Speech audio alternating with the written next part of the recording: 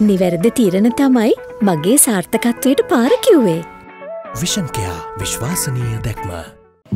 මෙන මේ සිංහල බෞද්ධයෙක් නෙමෙයි කියන දේ කියල් තින ඉති ඇයි මේ ජාතිවාදය අවසන්න මේ ජාති එකන් සිංහල බෞද්ධයෝ සියල්ල චන්දීදේ යුත්තේ ගෝටාබේ රාජ පක්ෂටද එහෙම එහෙම කතා කරන්න බෑ ඉතින් එහෙනම් අපේ ස්වාමින් වහන්සේලා පවා මේ පක්ෂ දෙතුන් දෙක තුනටම මේ සහයෝගය දක්වන්න ඕනේ. ඒ කියන්නේ කොටස් කොටස් වශයෙන් වෙන් වෙන්ම කියනවා. එතකොට බෞද්ධ සිංහල ජනතාව සියල්ල ඉරාජ් වීරරත්න ෆලෝ කරන පොලිටිෂියන්ගේ පස්සෙන් යා යුතුයි කියලා මතයක් නැහැ.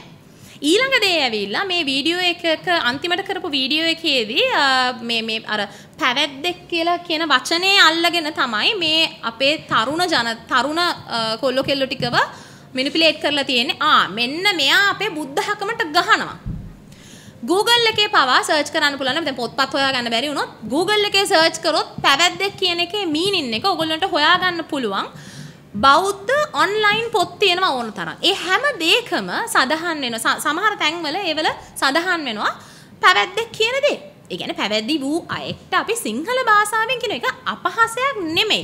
අශයෙන් සමහරලාට එයා බුද්ධ ධර්මයේ කෙනෙක් නොවන හින්දා ඉතින් අර හාමුදුරුවොත් එක්ක එයා වැඩ කරනවා ගොඩක්. ඉතින් එතකොට අපි ස්වාමින් වහන්සේ කියන්නේ පුරුදු වෙලා තියෙන පොඩි කාලේ ඉඳන්. ඉතින් එතකොට මෙන්න මේ වචනයක් අල්ලගෙන අනික සතර පෙර නිමිති වල වුණත් අපි කියන්නේ මොකද්ද? මහල්ලෙක්, ලෙඩෙක්, මලකඳක් සහ පැවිද්දෙක්. පැවිද්දෙක් නැත්තම් පැවිදිරුවක්. ඉතින් ඔය ඔය හරි මේ පොඩි දෙයකට මරණීය තර්ජනයක් එල්ල කරන්න තරම් breaking.turkey.